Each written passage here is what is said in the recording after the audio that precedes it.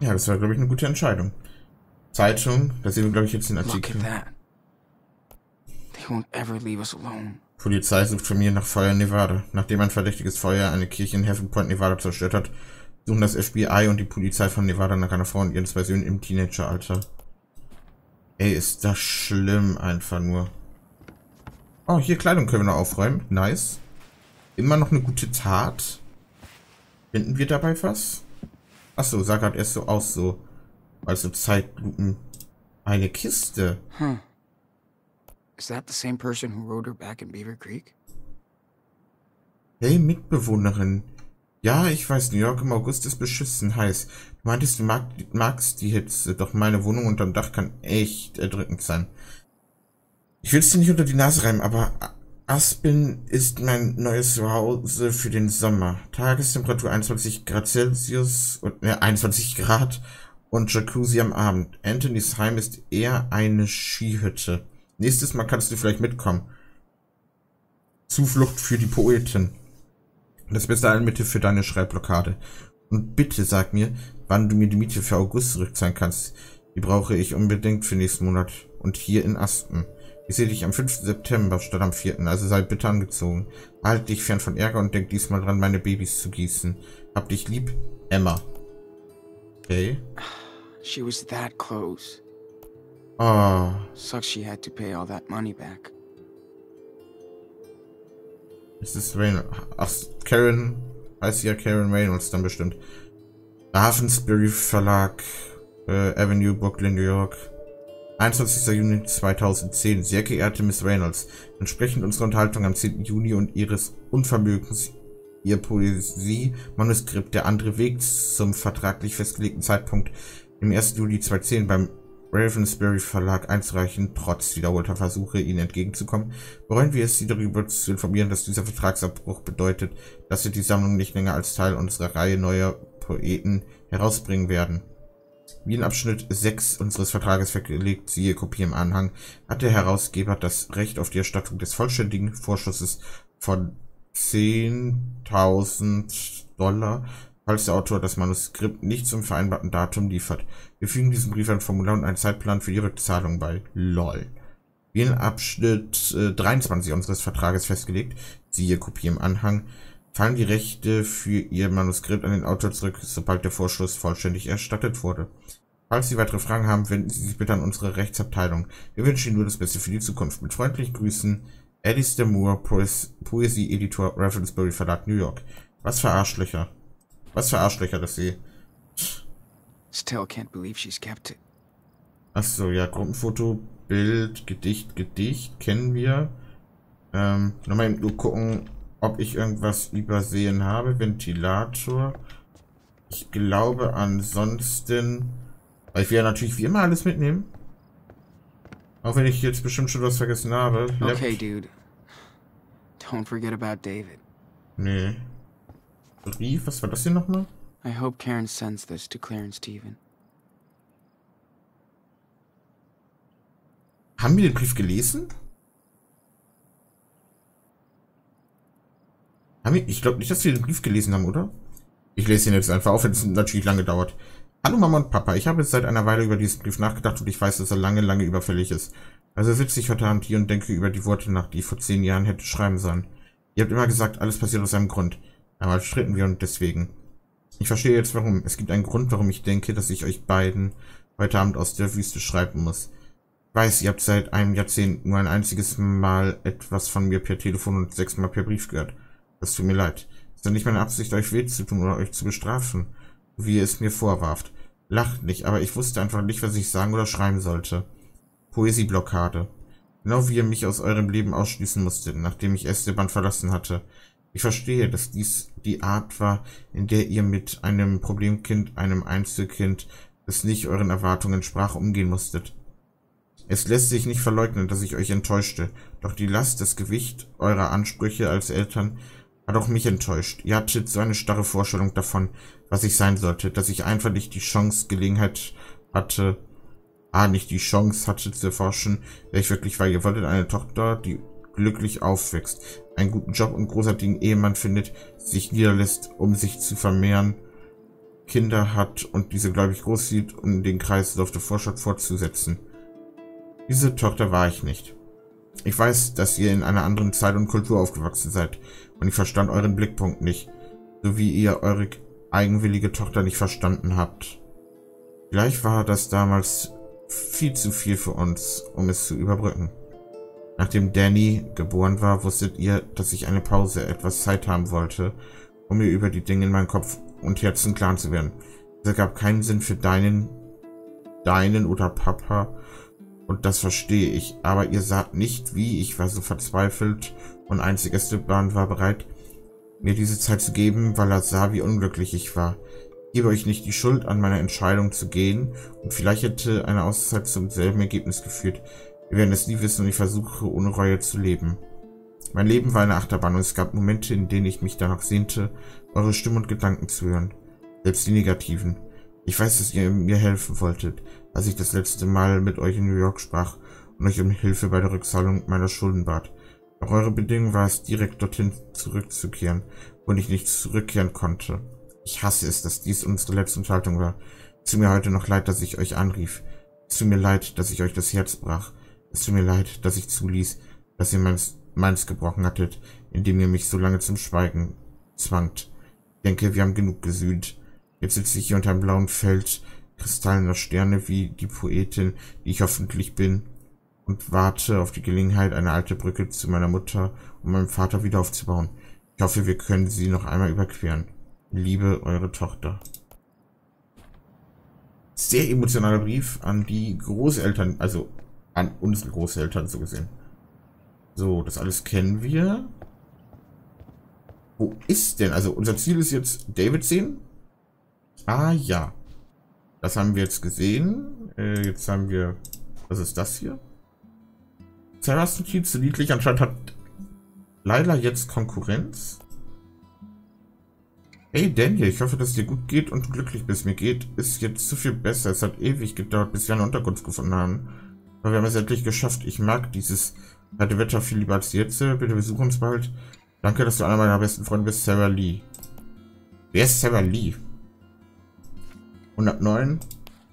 Schatzsuche. Wann hat er die Zeit gefunden, all das zu machen? Sonnenlicht zukünftige Albträume. Ähm, sei die Kunst, begeh Verbrechen. Es war cool, eine Weile mit Jones rumzuhängen. Verbrechen? Verbrechen. Volltrottel. Und dann noch äh, unsere letzte Nacht in Away. Okay, äh, David. David? Wo ist David? Ich glaube, wir können jetzt hier nichts mehr machen. Hoffe ich. Ist David hier? Ja.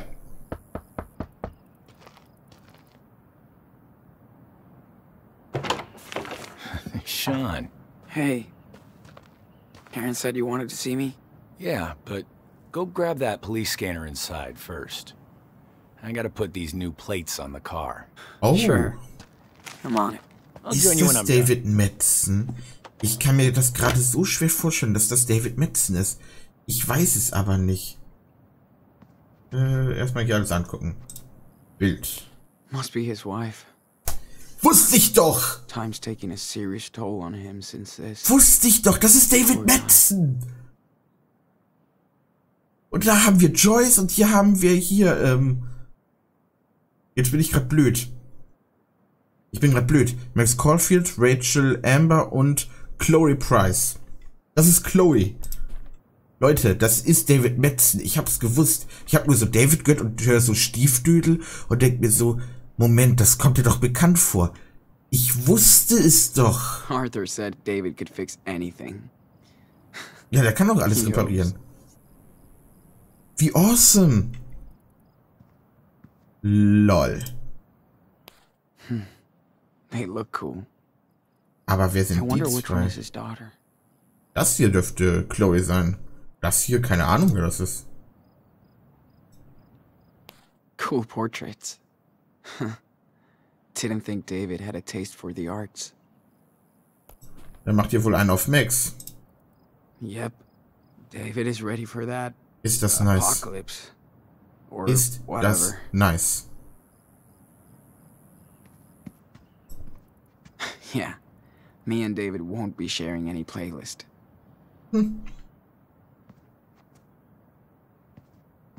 Ist hier im Bad was zu entdecken? Nein. Äh, Speisekarte. Meal ever. Two Rails Diner. Nice.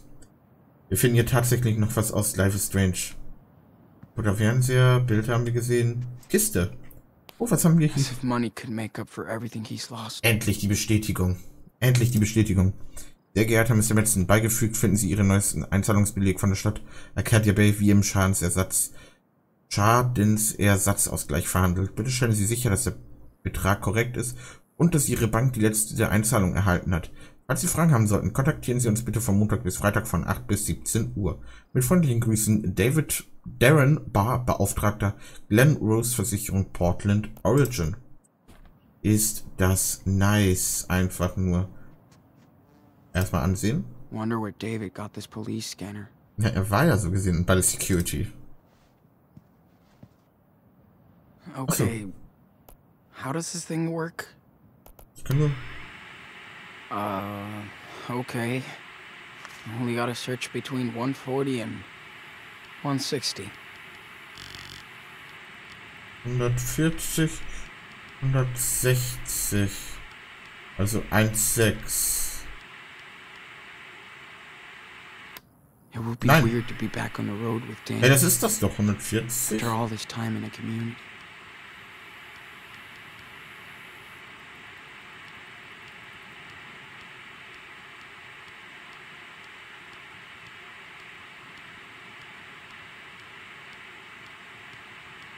Hope you're having a lovely morning on string quartets. Mm,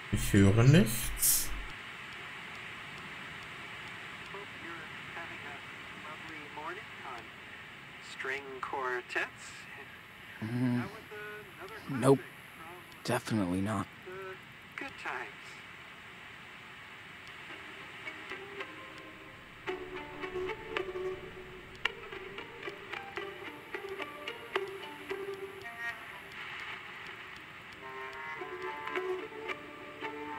Das jetzt der Sender? Also, ich sehe nicht, dass es weitergeht.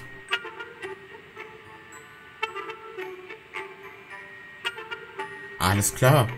Hä? Warte mal, ich mach mal weiter. Kann das doch noch besser werden? Jetzt einfach mal bis zum Ende. Also da waren ja eben schon eigentlich alle Balken voll.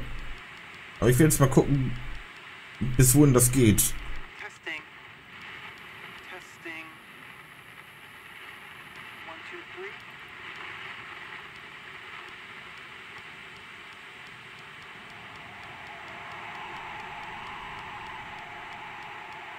Sehe da unten die Balken und Please don't let the cops come looking for us out here.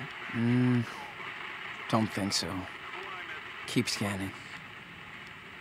Go on, sir. Uh, all I would say is, uh, now you have these these, these eco-terrorists trying to shut down our way of life, just to just to punish us. You can't even look at a, a tree anymore without getting some some fine or new regulation. It's Ist das because it's das? so damn hot. I mean, why is there snow? okay. And here you go. Another hit from the backwoods on Dusty Rocks FM. Hooking you Nah. all day long. Nothing there. Okay. Li- uh, uh, 136, listening. We've got reports of a 1010 down Wait. by Is this it? Sam's. Ah, Shit. Now we can spy on the cops all the way to Mexico. Thanks. David. You big rebel. Ich wusste, das ist unser David. David Metz, meine Damen und meine Herren. Wir haben tatsächlich... Oh, da oben ist noch eine Kiste. Hallo. Damn. I see why David ended up out here. So. Von wem ist das? Chase. LOL. Victoria Chase. Wait, sehr geehrter Mis- Herr Metzen, es tut mir leid, dass dies so spät kommt, aber ich hatte die falsche Postfachadresse auf dem Umschlag und der Brief kam zurück. Hoffentlich findet dieser Brief Sie. Ich bin froh, dass Sie Arcadia Bay verlassen haben. Oder was davon übrig ist. Ich bin jetzt in Therapie, was hilft, habe aber immer noch Albträume. Ich hoffe, dass Max und Chloe ihnen Gesellschaft leisten. Die beiden sind ein gutes Team. Ich bin immer noch in Seattle und kümmere mich um die Galerie meiner Eltern. Ihre Partnerin Jessica ist großartig. Sie hat alles im Griff. Das Testament ist chaotisch. Aber mir wird es gut gehen. Es ist schwer darüber hinwegzukommen, dass ich Mark Jefferson in gewisser Weise mein Leben verdanke, weil er mich in seinen verfluchten Bunker warf. warf. Ich habe ständig sein gruseliges Gesicht vor Augen. Doch dann sehe ich sie, wie sie mich retten. Ich werde mich wahrscheinlich den Rest meines Lebens bei ihm bedanken. Bitte bleiben Sie in Verbindung. Ich werde noch eine Weile unter dieser Adresse leben und lassen Sie mich wissen, falls ich Ihnen bei irgendwas helfen kann. Alles Gute, Victoria. Oh, ist das schön. Oh, ist das schön, Leute. Guckt doch mal. Also, David hat Arcadia Bay verlassen. Und ganz am Anfang des Spiels, falls ihr euch noch dran erinnert, aller allererste Folge, musste man sich entscheiden, ist, äh, gibt's Arcadia Bay noch oder nicht? Ich habe geschrieben, es gibt's noch. Das bedeutet halt eben, äh, oder habe ich gesagt zerstört? Ich weiß es nicht mehr. Kann gut sein, dass ich gesagt habe zerstört. Das heißt, Chloe und Max sind ja mit dem Auto weggefahren. Das heißt, diese Sicht haben wir im Spiel, haben wir was anderes im Let's Play ausgewählt, aber jetzt so diese Sicht. Und Victoria ist in Therapie, hat Hilfe bekommen und ähm, möchte sich nochmal bei David bedanken, dass sie ihn gerettet hat. Ist das schön. Oh, ist das schön. Oh, ich freue mich gerade so. Oh, das ist gerade richtig schön.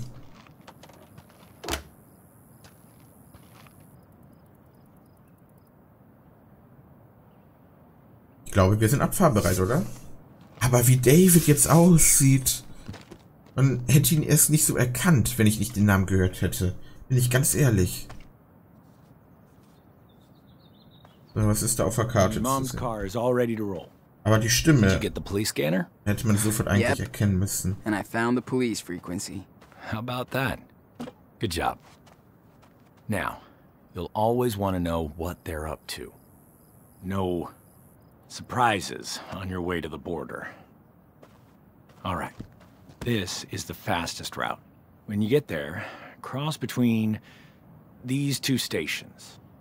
Now, you have to exit the main road and drive through the desert for a while.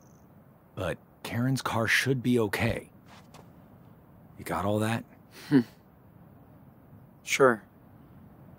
Think so. Sean, you have to know. The police are Die Augen on your man. ass. You only get one chance here. I'm not trying to be a dick. Just honest. I know, David. Thanks. Was das schön. Danke, Hier. David. Have a seat.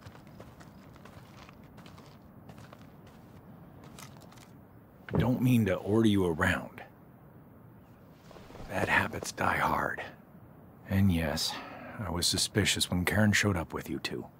But after watching you and your little brother for a while, I think I get what you're going through.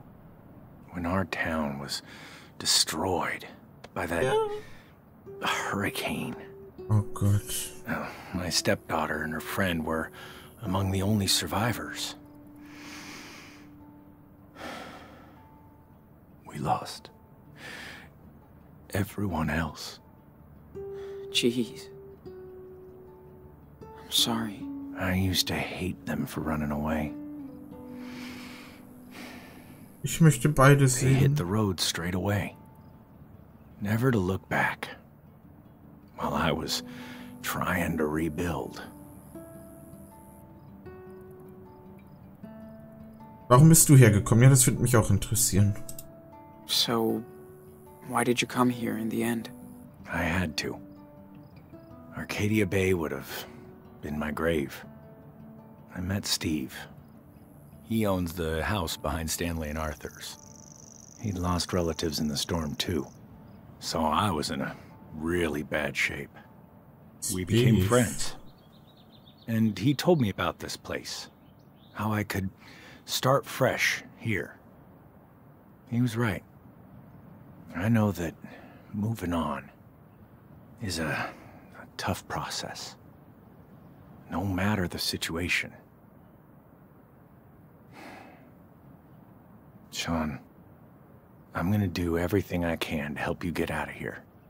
That's my duty now. But I want to be straight up with you. Okay? Yeah. Of course. I know you guys got screwed. That you think nobody will ever believe you. But the truth is on your side. You and Daniel can't just hide out forever. Leider. Is that how you see yourself in 10 years? Ja, was sollen wir machen, David? If you step up and face the law, you can be free Oh. sooner than later. Oh. Was sag ich denn jetzt David? Und was sag ich Daniel? Oh, ich wusste, dass es auf sowas hinausläuft. Ich hab's mir schon so geahnt. Ich hab's mir schon so geahnt, ich hab's mir schon so gedacht. Also, ich will ein neues Leben, aber ich, ja. We've come too far now. We just want a new life. That's it. I understand. I do. I'm trying to Du helfen, ich weiß. adult. You're too young to be dealing with all this. And Daniel is growing up fast. Too fast. Das stimmt. That's what I'm worried about. You made it here. So I know you're on the right path.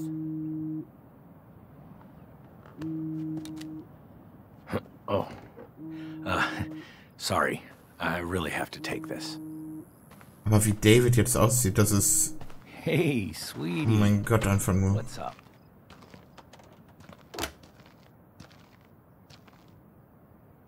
Ey, ich finde das immer noch krass. Shit. Told you New Yorkers were assholes.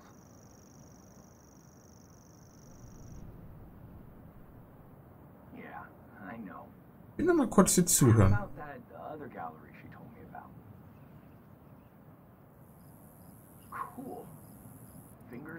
Then. Hm. Nah. Wie diese Minecraft, wie diese Minecraft-Bewohner. Hm. Kommt noch was? Yeah, those solar panels are finally up and running. You'll see them next David always wants to help. But he's tough to figure out. Ich finde es einfach nur nice, also dass David hier ist mit dem Auto in die, die Stadt verlassen. Was haben wir denn jetzt hier? Ach so. Ey, ich finde das krass. Ist das einfach nur nice. Gal. Let's check you out one Können wir Karen helfen? Hey, Oh, need any help? just checking out the levels and cleaning up the filters. Hat mich nie für Autos interessiert, wusste nicht, dass die Mechanikerin geschafft das Auto das. So. Do you think your truck will make it all the way to the border? Oh, it will. It's never failed me before. How long have you been driving for? Not long enough. Dad taught me, but. I always had other plans. We didn't go cruising too much. Esteban was obsessed with his engines. Ja, das stimmt. Haben wir gesehen in der ersten That doesn't mean you had to be too. Also in den Szenen, die wir mit ihm hatten. Er war altmodisch, wollte, dass ich mich selbst finde. Yeah. He only wanted me to find my own way. Whatever that was. Wish I had more time. Das mit dem Schatten ist gerade cool. Listen, Esteban loved you and Daniel for exactly who you are. He would be proud that you're going back to his homeland today. Warte mal zusammen dort. Ich wünschte, er wäre hier. Ja, das ist aber, glaube ich, auch der Mutter da. Klar, äh. Ich frage ja das. Das interessiert mich gerade mehr. go to Mexico together? We talked about going, but never did. He said growing up there was hard. but he loved it. I don't know anything about Mexico. It's scary. Sean, you're carrying the weight of two people on your shoulders now. It's okay to be nervous. I'm just tired of running. Of causing trouble everywhere we go. Daniel's power is overwhelming, and we don't know where it comes from. But you do know your brother. You'll be there for each other. Nicht sicher, ob ich das kann. Seine Kraft macht mir Angst. Wenn nur, dass es vorbei ist. Kraft macht mir nicht Angst. Ich will, dass es vorbei ist. Ja, irgendwie auch. Aber ich glaube, mehr ist es das hier. I'm scared shitless. I don't, I'm not even sure I can do this. Or if we can start a new life. But I'm the only one that can take him to safety. Your brother sure isn't a little kid anymore. Ja, he aber had to grow up too fast. trotzdem. He wants to be equals. And you guys are gonna have to work together. Das machen wir doch auch schon. He may even help you make it. Vielleicht hast du recht, als ob du es wüsstest. Nee, komm, so, so werden wir jetzt nicht. Maybe you're right. You'll figure it out, like you always do. Okay. Better get back to my tune-up. All right. I'll make one last round before leaving. Kann ich denn noch mit Leuten reden oder so? Wo ist denn Daniel? Truck. Array verlassen. Ach so. Ich könnte schon das Array verlassen. Aber kann ich denn noch so hier... When we're in Mexico. Hi, Sean. Hey guys, Kann ich noch mal mit denen reden? Ja, cool. I Machen came wir by mal. to say adios. We're taking off today. Das No, you're not. Really? Ja. Everything okay? Yeah, just time to go. Well, shit. Wish you and Daniel could stay longer. So riskant für alle. Yeah, but it's too risky, especially for all of you. We all took a risk moving here. Look, we can hide you from the cops. Not these ones. They want my ass. It's better if we leave now. Sean, I won't drag this out and get bitter. Besides, you and Daniel will be back to visit, right? Haben wir uns gucken. Ja, hier, wir werden es versuchen. We'll try. I'm glad this place will be our last U.S. memory. You and your little brother will always have friends here. And a home. Danke, Jungs. okay, I'm done babbling. I just hate goodbyes. I know you're both gonna have a great life in Mexico. You better. Uh, we. We're gonna make it work. Shit. I'm gonna miss you guys. Take care. You hear? Oh, Watch out for schön. Daniel. Oh, schön. He needs you. Be safe. And send us a postcard of the beach. Soll ich euch was sagen? Ich will jetzt gerade Chloe und Max sehen. Jetzt gerade in diesem Augenblick möchte ich Chloe und Max sehen. Weil ich jetzt einfach diese Bestätigung habe.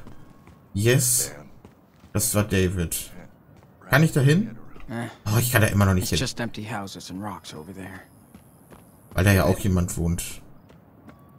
So, dann gehen wir jetzt nur noch mal eben hier zu ihr hier und dann verlassen wir das Array. Also hier Joanne, genau. I don't know. Come on. Ah, Event. E Event. Hey. What's going on? Mm, I'm taking a look at this baby with hindsight. So, what do you think?